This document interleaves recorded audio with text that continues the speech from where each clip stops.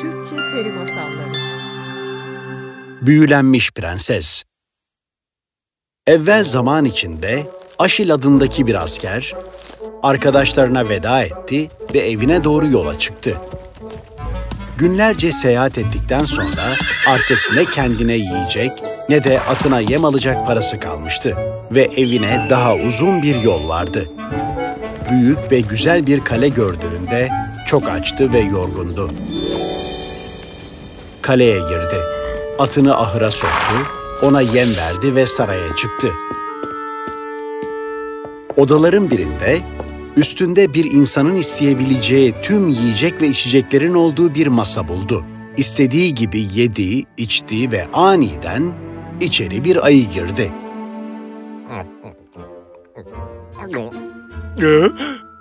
Aa, sakın korkma. Ben tehlikeli bir ayı değilim. Şey, bana soracak olursan buradan öyle görünüyorsun. Sakin ol. Ben aslında güzel bir kızım. Büyü yapılmış bir prensesim hatta. Eğer burada bir gece geçirirsen bana yapılan büyü bozulmuş olacak. Şey, ben özür dilerim ama bir ayının olduğu bir yerde gece kalmak istemem. Merak etme, sana zarar vermeyeceğim. Ayı Aşil'e güzel bir prensesin portresini gösterdi. Bak, bu benim. Prenses Paris. Çok güzelsin. Teşekkür ederim. Gece burada kalır ve büyünün bozulmasını sağlarsa seninle evleneceğim. Sana söz veriyorum. Seninle evlenmeyi çok isterim. Tamam, gece burada kalacağım. Teşekkür ederim.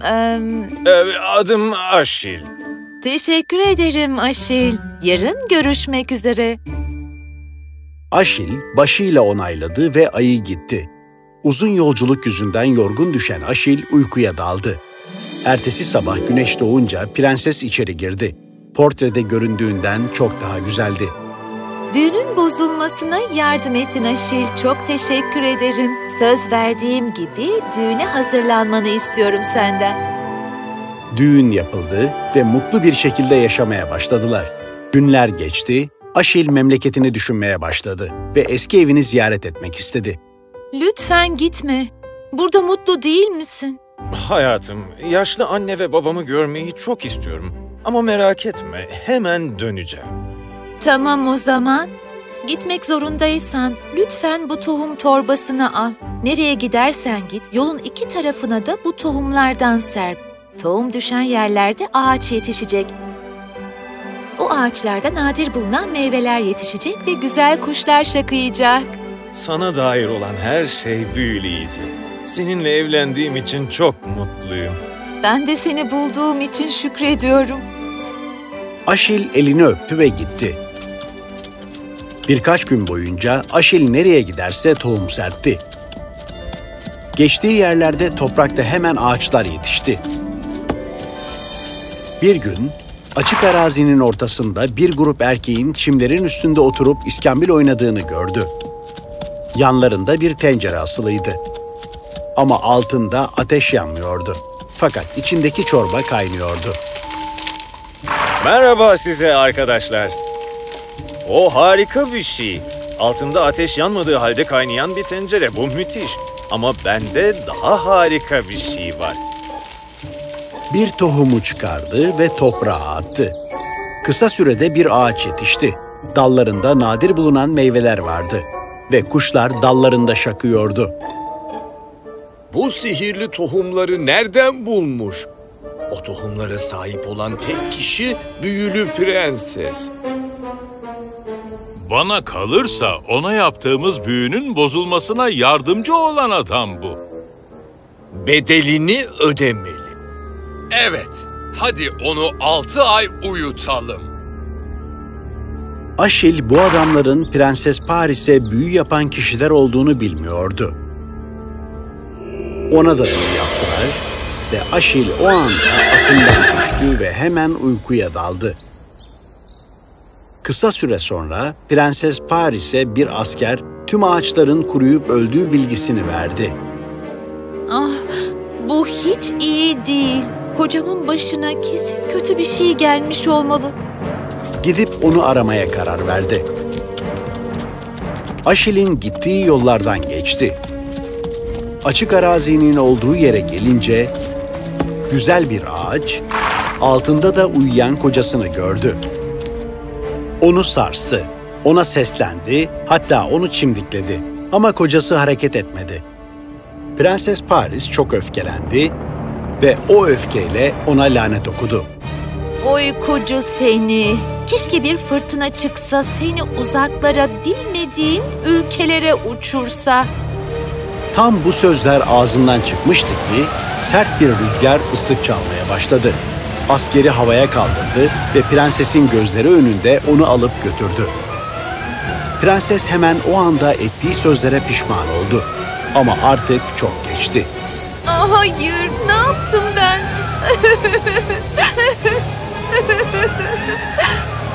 Bu arada aşırı rüzgar uçurmuş ve bir adaya fırlatmıştı. Gözlerini açtığında yarım yıl geçmişti.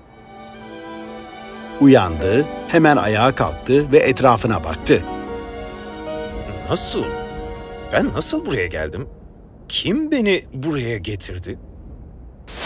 Adadaki kumlu plajda yürürken üç adamın kavga ettiğini gördü. Bu üç kişi kötü bir büyücünün oğullarıydı. Sorun nedir? Neden kavga ediyorsunuz delikanlılar? Efendim, bizim babamız öldü ve bize üç güzel şey bıraktı. Uçan bir halı, sihirli çizmeler ve görünmezlik şapkası. Ama hangisini kimin alacağına bir türlü karar veremiyoruz. Ah size aptal büyücüler, kavga etmeyi bırakın. İsterseniz bu eşyayı size bölüştürürüm. Böylece herkes memnun kalır. Büyücüler teklifi kabul etti. Şimdi şu Hindistan cevizi ağacını görüyor musunuz? Yaprakları toprağa değen ağacı. Evet, Evet. Evet. Üç büyülü eşyayı yanımda yerde bırakın ve o ağaca koşup geri gelin. Bana ilk ulaşan üç sihirli eşyadan birini seçebilecek. İkinci ulaşansa iki sihirli eşyadan birini seçecek ve sonuncu olan da kalan neyse onu alacak. Üç büyücü hemen Hindistan cevizi ağacına koşmaya başladı. Aşil gülümsedi. Sihirli çizmeleri ve görünmezlik şapkasını alıp uçan halıya bindi ve krallığını aramaya gitti. Bir süre sonra bir kulübeye rastladı. İçeri girdi. Orada yaşlı bir kadınla karşılaştı. Günaydın nineciğim. Karnım çok aç. Bana yiyecek bir şeyler verebilir misin? Elbette oğlum. Lütfen otur. Aşil oturdu, kadın ellerini havaya kaldırdı. Hemen sonra birden lezzetli yiyeceklerin olduğu büyük bir masa belirdi. Vay canına, sen bir peri misin? Ben birçok şeyim. Şimdi sus ve yemeğini ye olur mu? Aşil yiyebildiği kadar yedi.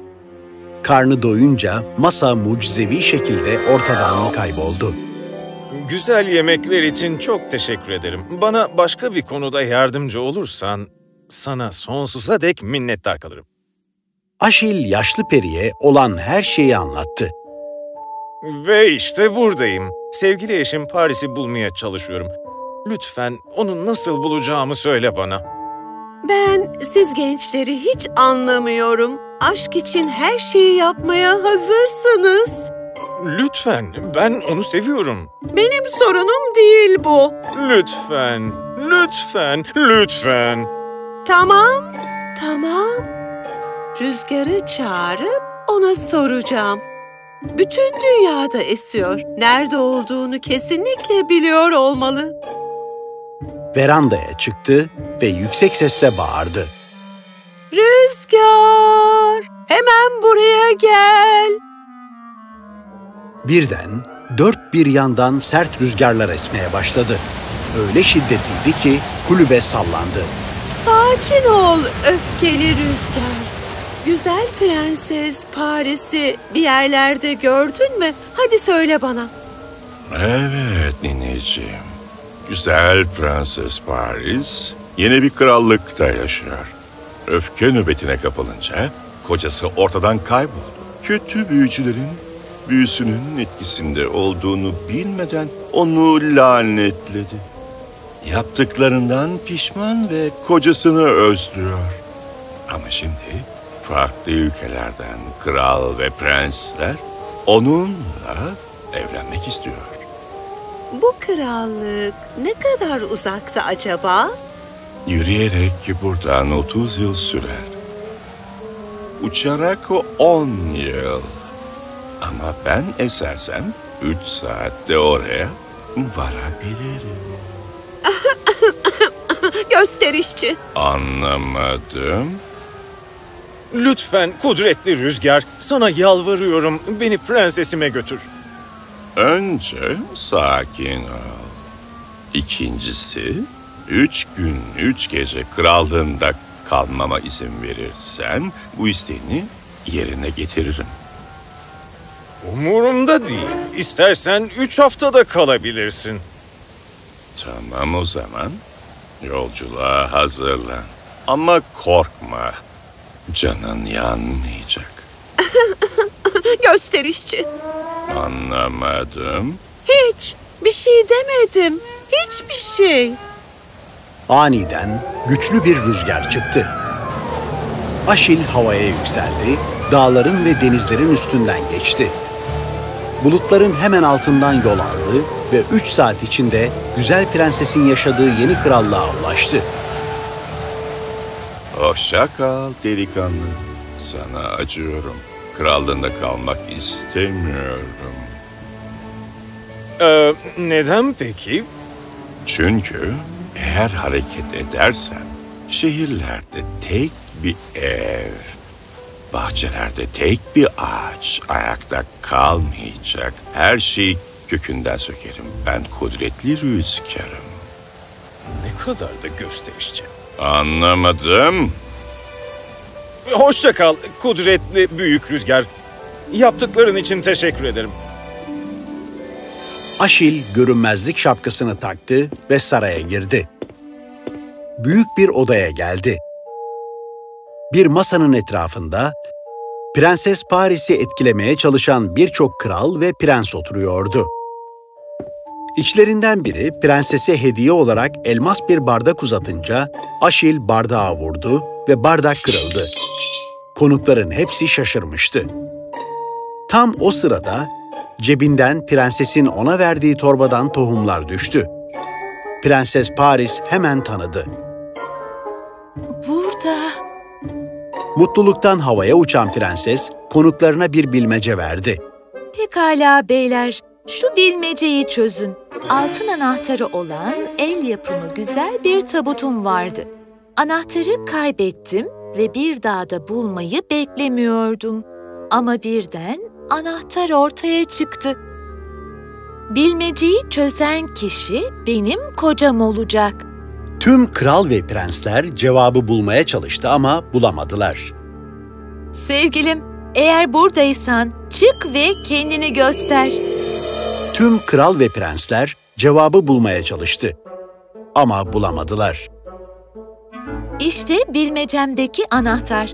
Tabut benim, altın anahtarsa sadık kocam. Bunu kim bilebilirdi? Kral ve prensler surat astı ve oradan ayrıldı. Prenses Paris ve Aşil birbirine sarıldı.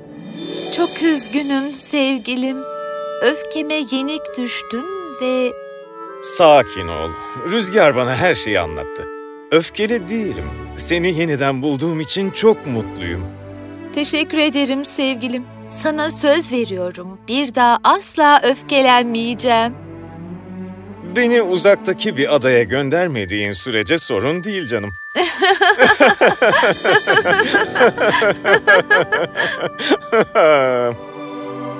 İkili yeniden birbirine kavuştukları için mutluydu.